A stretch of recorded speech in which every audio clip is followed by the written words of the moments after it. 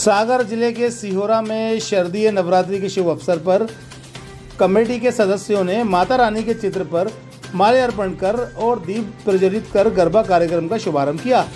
इसी दौरान काली कमेटी के अध्यक्ष पंडित आकाश पाठक ने बताया कि लगातार 40 वर्षों से देवी जी विराजमान की जा रही हैं। इसी के शुभ अवसर पर 15 वर्षों से गरबा कार्यक्रम किया जाता है, जिसमें नन्हे मुन्ने बच्चे अपनी प्रतियोगिता दिखाते हैं।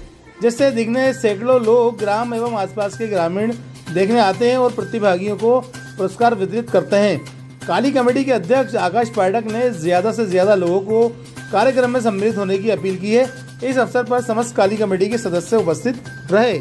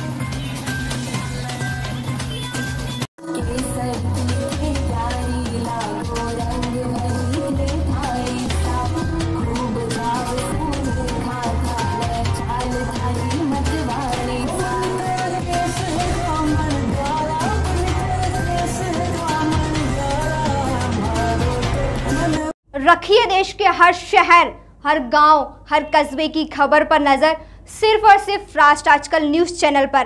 अगर आप हमारा चैनल YouTube पर देख रहे हैं तो चैनल को सब्सक्राइब करें और बेल आइकन ज़रूर दबाएँ ताकि आपको मिल सके लेटेस्ट अपडेट और अगर आप हमारा चैनल फेसबुक पर देख रहे हैं तो चैनल को लाइक करें शेयर करें और कमेंट्स ज़रूर करें। और अगर आप पत्रकारिता के क्षेत्र में अपना करियर बनाना चाहते हैं तो जुड़े राष्ट्र आजकल न्यूज़ चैनल से। राष्ट्र आजकल न्यूज़ चैनल से जुड़ने के लिए स्क्रीन पर दिए हुए नंबर पर आप हमसे संपर्क कर सकते हैं।